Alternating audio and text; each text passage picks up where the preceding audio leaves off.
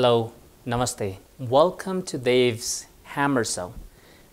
This is a weekly television show where I invite guests from different walk of life to discuss on various contemporary issues. Today, I have invited new guests to discuss on the roles of International Labour Organization's office in Kathmandu. In order to discuss on this theme, I have invited the director of ILO office Kathmandu, who has extensively worked in Asia for more than 20 years. And most importantly, he has worked in the sector of indigenous peoples. He is no other than Richard Howard. He is no other than Dr. Richard Howard. Let's, let me welcome him in this show. Hello, Richard. I would like to welcome you to the show and also request you to introduce yourself briefly. Okay, well, it's good to be here. Uh, my name is Richard uh, Howard. I'm the country director here in the ILO in Nepal. And I've been here about a year and eight months. Still have a lot to learn, but I've learned a good bit so far.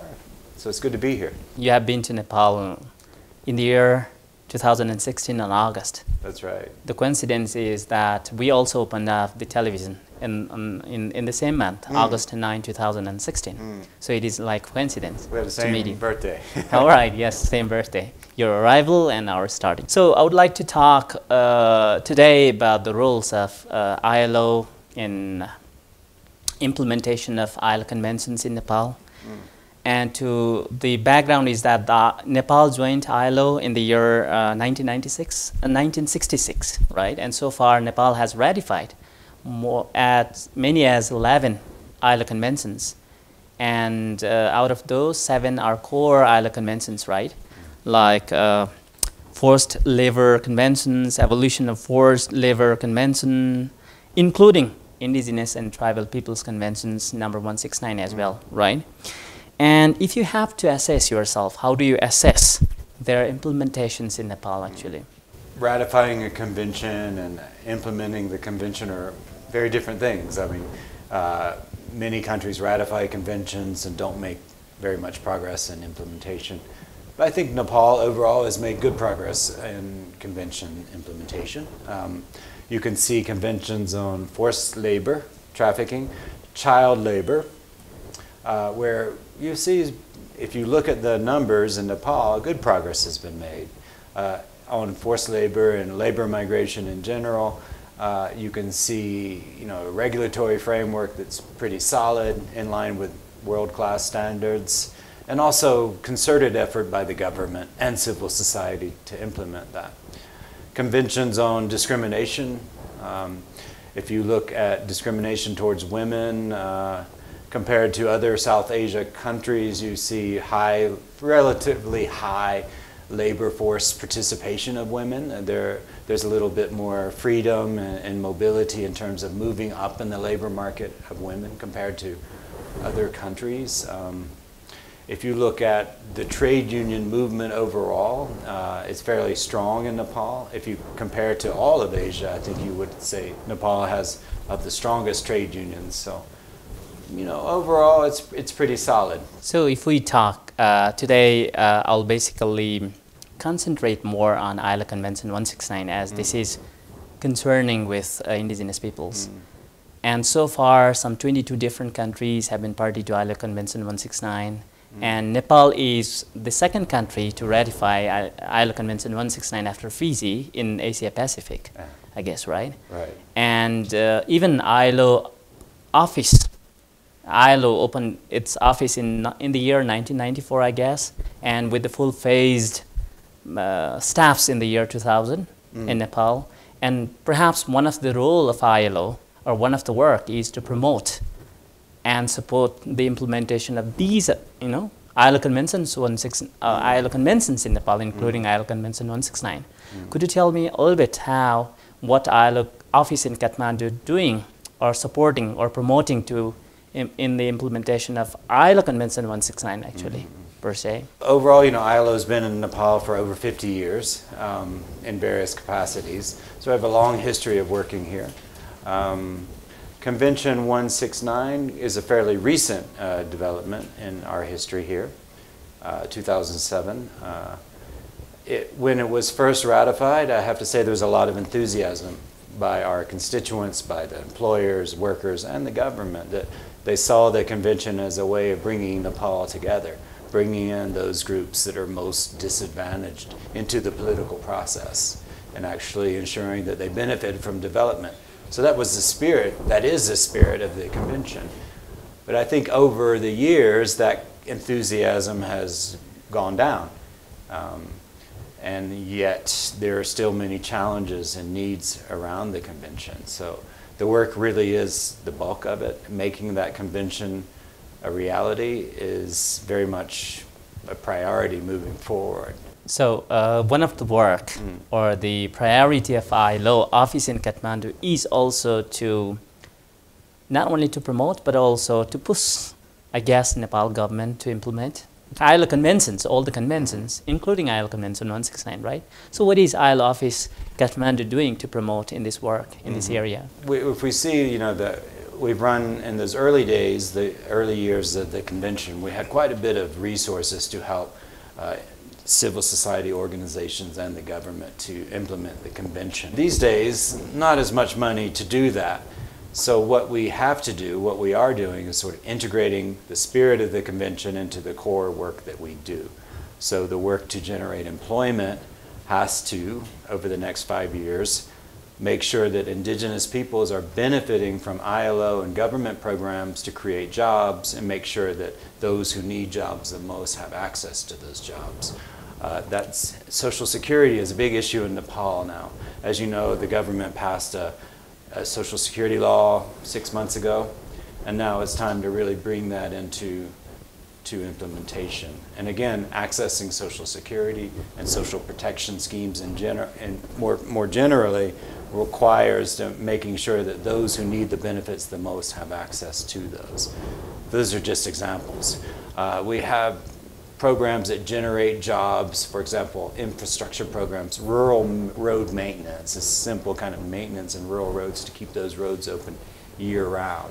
And that program also is working with local village committees to make sure that those groups that are most disadvantaged, women, indigenous peoples, Dalits, and others, conflict affected people, are given jobs first and foremost before other groups. So that's partly our response. But there also is another area of work related to the convention, is this global supervisory mechanism of the ILO that monitors how countries are doing implementing various conventions.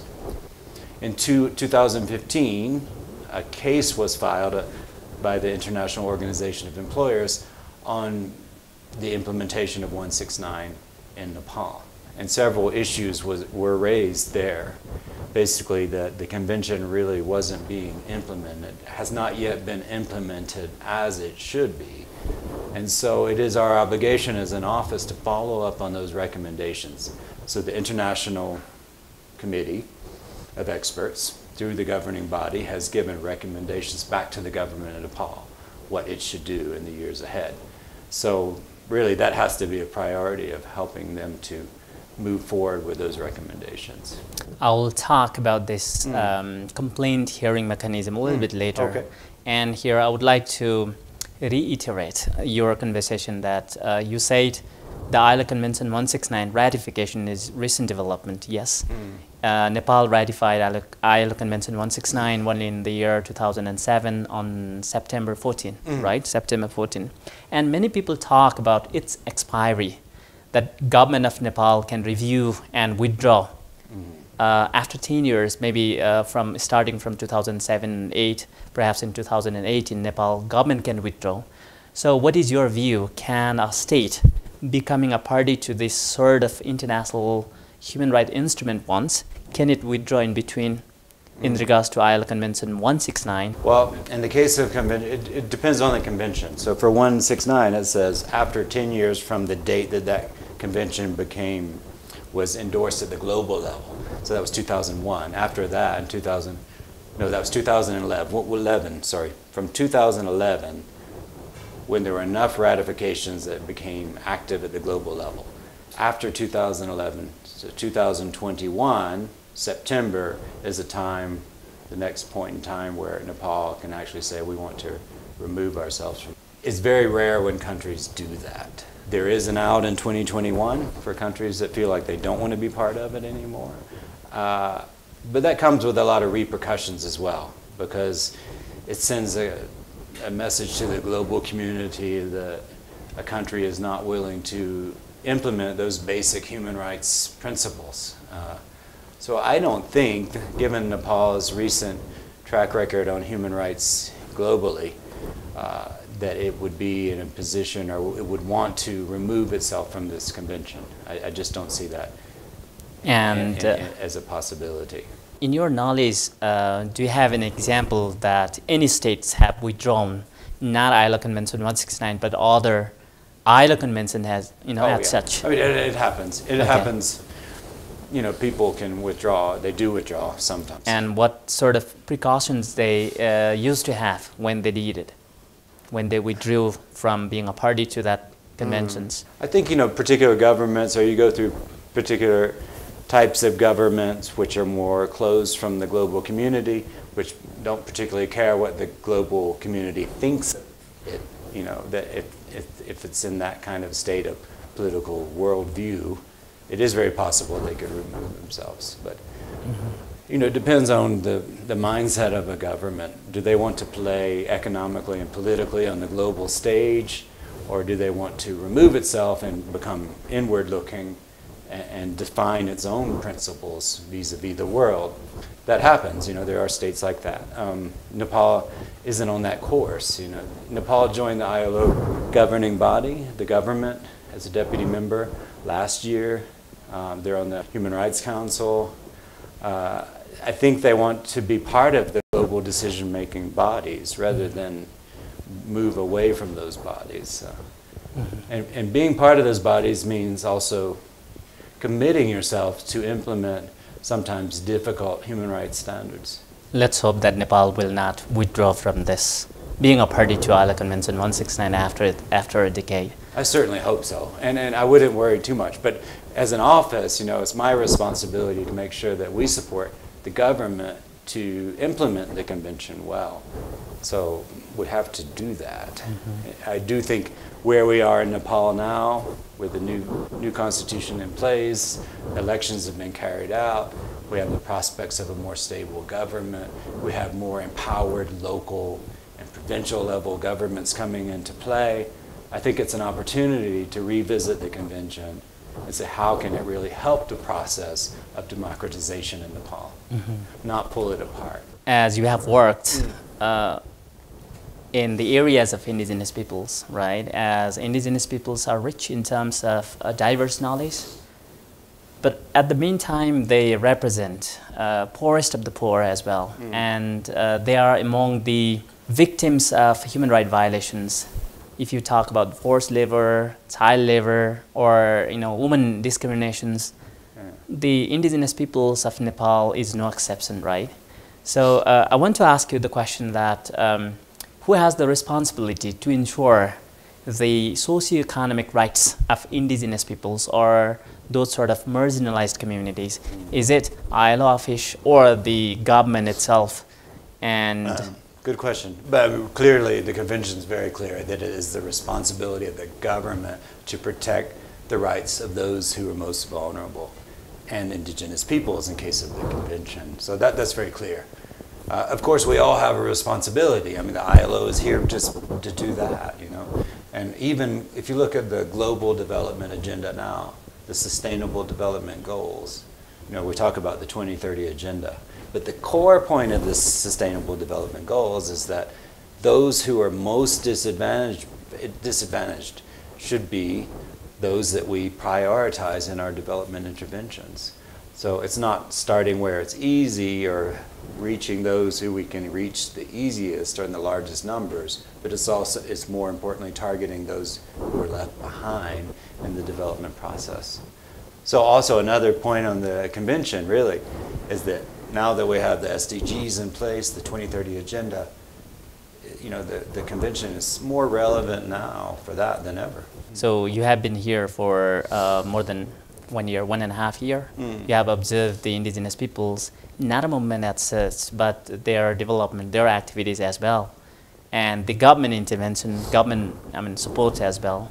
What is your observation then in this, in this regard. Hmm. socioeconomic development? You know, if you look, going back to those recommendations of the ILO governing mm-hmm. body on implementation of the convention, there hasn't been a lot of analysis from the government on how development programs have affected indigenous peoples. So overall, to what degree are indigenous peoples involved in development planning at national level, at local level? Uh, to what degree have they benefit, benefited from education programs that are going on now, health programs, and uh, even programs to develop the agricultural sector?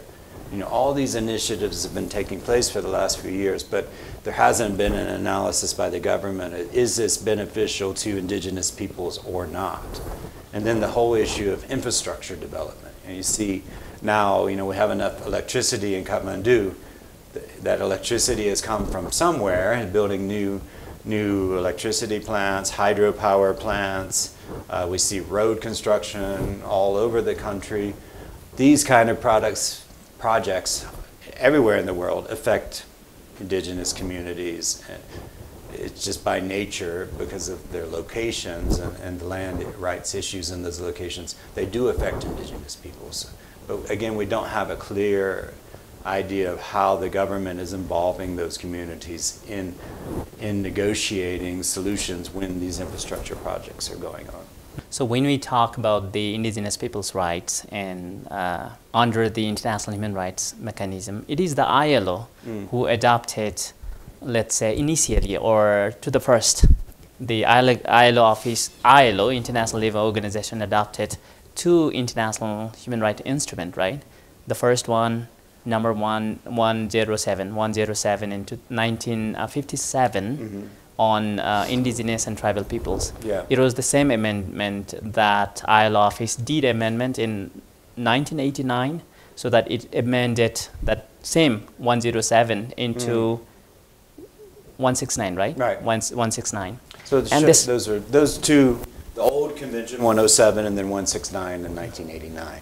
A- And, the reason there wasn't, you know, if you look at the difference between the two, 107 was really based on old kind of thinking that indigenous peoples would be assimilated, would lose their identities and become part of the mass uh, national community. That was the kind of thinking, say, 50 years ago.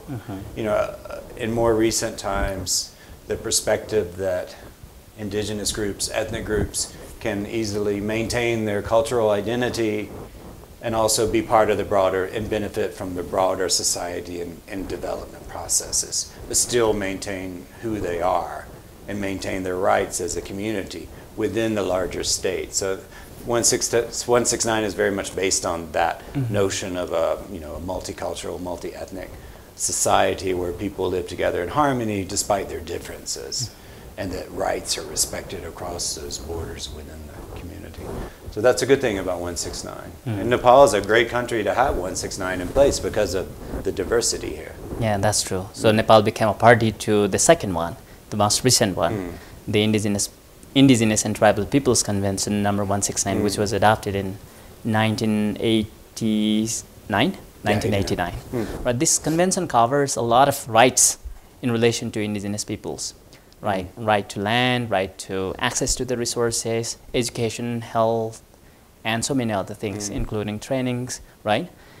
And if you see the uh, human right violation of indigenous peoples in Nepal, actually, that uh, many development enterprises, including the government, has been appropriating the resources Mm. uh, in the uh, areas where the indigenous peoples have been living, inhibiting, right, without maintaining the free, prior, and informed consent. This has been like a tussle, right? Yeah. And what is your observa- observation actually in regards to the, you know, human right violations of indigenous peoples in regards to the, you know, provisions of ILO Convention 169? There has been mm. Well, you know, I, I can't say that I, I fully understand the degree of violations that are taking place because, you know, from where I sit, I don't have access to information on that scale. You know, it's difficult for me to comment on things that I, I don't have the evidence, right? But I, you know, I certainly hear of cases where, you know, infrastructure projects have moved forward without consultation in advance, where people have been locate, relocated without consent. consent. Consent is clearly required by the convention. Um, so I, all I can say is that, you know, the convention is very clear about the process for negotiating with local communities, with indigenous communities on land use rights, on the possibilities of relocation, but done with consent and provided with land of equal value in a similar setting as what they left behind. Uh, I don't really know the scale of violations in, in Nepal. You know, ILO country offices are really not set up to monitor conditions. Really, that's the responsibility of the government, the Human Rights Commission. Our role is to help the government to implement that positive action along what's recommended by the convention. Mm. You clearly said that this is not the, I mean, work of ILO to monitor actually, monitor the uh, violation of human rights mm. in relation to ILO Convention 169. This is the work of the government as such. But Nepal government ratified ILO Convention 169 in 2007. It has mm. been a decade long. And um, I guess there was um, action plan which was drafted, mm. which is still pending. Mm. And uh, the government, even though government has adopted new constitutions and now amending new rules as mm. per the new constitutions, and there is not much reflected uh, inconsistent with ILO Convention 169 in, in the laws as well. And if you have to assess the challenges from outside or as an expert of ILO Convention, I mean, let's say ILO office, what do you see the challenges to implement the ILO Convention 169 in Nepal? Mm. Do you see any challenges for well, proper think, implementation? You know, the biggest challenge is misunderstanding about the convention you know, that it, the convention somehow creates um, disharmony in society. Whereas the design of the convention very much is based on the notion of dialogue, negotiation, inclusion. Uh, it's really about bringing different groups together to make sure the national, the state is well is unified uh, when it's implemented properly. So I think that misunderstanding somehow has resulted in some groups not wanting to do anything about the convention. But I think there's willingness in the government to revisit the action plan, and that would be a great place to start. And certainly ILO will encourage the government to, to revisit the action plan, to implement the action plan, to look at the new state structure in know, the provincial and local government roles in terms of inclusion and setting up processes at municipal level, provincial level, to actually monitor and implement the convention is very important for that. You know, as we shifted from the old structure to the new structure, there's a risk that indigenous peoples are left out in those processes. So it's a good time, I think, with a new democratic government, decentralized government, to bring these issues back in. I, I do think it is. As you have brought the um, issues in relation to monitoring of the human right violation as well. Mm. If we talk about the UN convention, there are hum, uh, UN human right conventions. There are treaty bodies to monitor the violation of uh, human right treaties like ICC. There is human right bodies to monitor uh, ICCPR, implementation of ICCPR, ICESCR as well. Mm -hmm. And uh, what is the mechanism which exists under the ILO office to monitor the violation of ILO Convention 169 actually? Yeah, so I mean there are processes where implementation of any convention that has been ratified can be put forward. There's a process for that. It goes to the committee of experts under the governing body.